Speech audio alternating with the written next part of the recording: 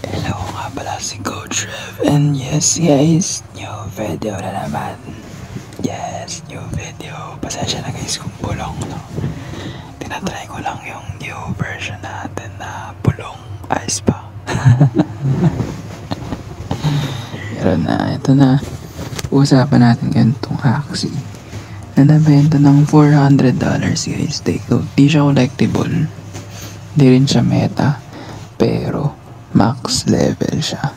No, so, napakalaking breakthrough nito para sa Web3 gaming at sa Axie Infinity community, especially yung mga gustong kumita no, dito sa Axie Infinity. So, kung bago ka sa channel natin, syempre nasa inyo yun kung magsusubscribe ka. Pero, I recommend mag like ka at mag-comment ng thoughts mo sa video na to dahil meron tayong giveaway na 1,000 SLP next week.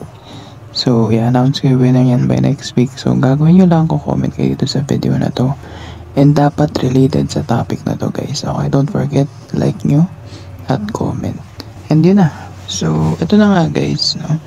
So, $400 na benta yung Axie. Sobrang laki nun. Like, imagine mo, ginrind mo lang yung Axie. Like, hindi ka naman nag, ano, di, di mo naman siya, I mean, di siya meta or what. Pero nabenta siya ng $400. No, ibig sabihin, may potential.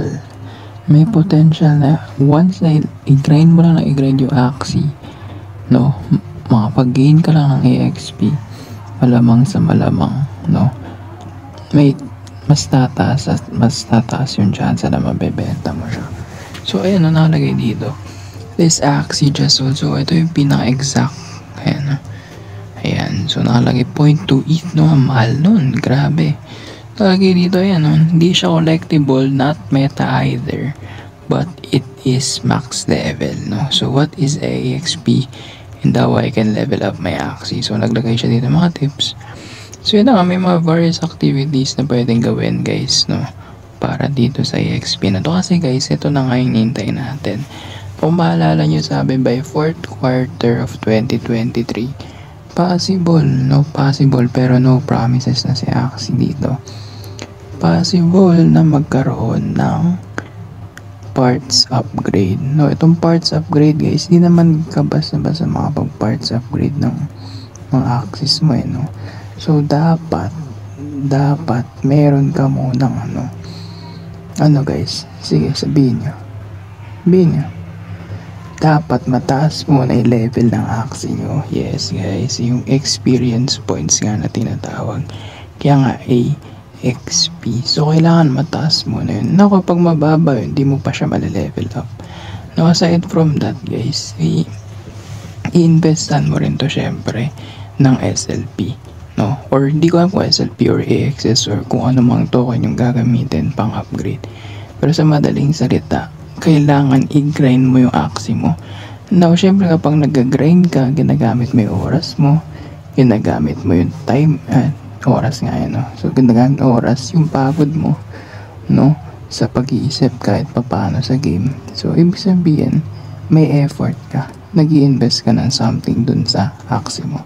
Now, in return, no, pwede mo siyang maibenta ng mas mataas. No, for example, may Axie na level 1. Now, ikukumpara, kung ikukumpara natin siya sa Axie na level, sabihin level 5, malamang sa malamang mas mataas yung magiging presyo ng level 5. Now, ang dami ngayon sa marketplace, binibenta yung mga Axie na level 3 yung mga Axie nila, pero binibenta ng floor price. Kung ako sa inyo, no, pag-isipan nyo munang maigi. Like, hindi ako magbibigay ng, uh, I mean, hindi to financial advice, no, pero nasa inyo pa rin yun. No? Pero mas maganda, hintayin nyo. No? Hintayin nyo yung parts upgrade sa kayo magdesisyon.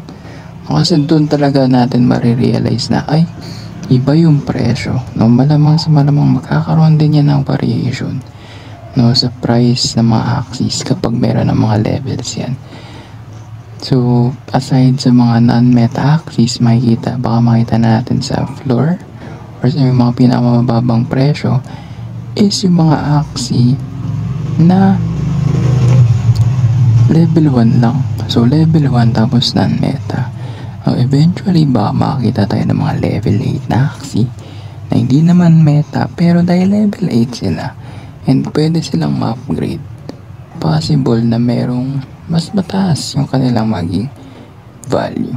So grabe, napakalaking breakthrough nito sa Web3 gaming and of course sa Axie Infinity. So paano ko nasabi yun? Sa Web3 gaming guys, kasi dito natin makikita talaga yung vertical progression. No, vertical progression and talaga namang uh, makikita natin yung ownership na dito. No, na kapag nag invest ka dun sa isang Axie or sa isang NFTs or NFT mo, no, ng time and effort, malamang sa malamang mas tataas pa yung chance na lumaki yung value yan. And nasa yun, nasa yun kung paano mo siya ipepresyo, paano mo ipepresyo yung pagod, hirap at oras mo. Now sa Axie of course, sobrang ganda nito, especially ngayon. Ang ganda ng galaw ng market natin. Daming mga news and updates kay Ron. And may mga haka-haka na you know baka malapit na mapunta sa Binance Ron hindi ko alam no? Hindi ko alam yan. Mga chismis lang yan no, but still no but still these are news na talaga namang sobrang solid and talaga namang nakakabang no? Yung pixels yung uh, play wild forest tapos Lunasha Cup guys no? Lunasha Cup pero na rin so grabe. The the possibilities are endless no? Because of these updates no? Talaga namang napaka solid so kayo guys anong thoughts niyo dito? Ako again I'm very very bullish and happy no dito sa upgrade na to or sa update na to kasi talagang talagang binavalue binavalue ni Axie yung yung essence ng Web3 guys. Nandito natin makikita na unti-unti nagbubunga na yung inintay natin. May ko compare natin kasi last year may mga progress din tayo pero more on may pagka-ponzinomics talaga eh no? Even nung 2021 era. So ngayon 2023 nakikita na natin yung innovation, yung mga bagong features, yung mga bagong uh, utilities, and yung mga bagong games na papasok, and yung mga bagong competition din ng Axie. So, grabe. No, I mean, hindi, hindi man siya pan mainstream as of now. Pero eventually, no, eventually, malay natin. Pati yung mga consoles, or yung mga uh, big gaming companies, no, pasukin na talaga siya and seryosohin na rin itong uh, Web3 gaming, no? So, yeah. Kayo guys, anong thoughts niyo? So, kung bago kayo sa channel, again, don't forget to subscribe and like this video. And of course, comment your thoughts guys. Comment your thoughts dito sa video natin. Kasi meron tayong 1,000 SLP. And gusto ko sabihin na don't forget to pray din. No? So, magdasal kayo, maghumingi ng tawad sa mga kasalanan ninyo. And, magpasalamat no lagi nating pasasalamatan yung Panginoon natin sa buhay na ipinagbaloob niya so yeah yun lang naman so again ako si Coach Shep like, comment, subscribe. Pasensya na again yung boses natin no? Pero babawi ako next week no? Kasi again wala ako sa PC ko. Dami nagtatanong Coach Shep bakit ganyan boses mo? Coach Shep bakit ganyan?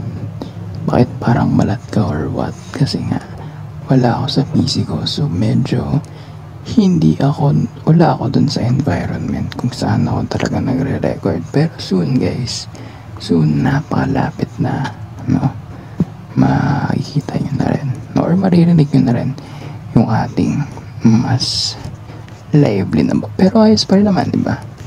No? Type 1 nga type 1 nga umabot sa punto na video na to. No? Sino sino yung mga umabot? Shoutout natin. So yun lang, buya.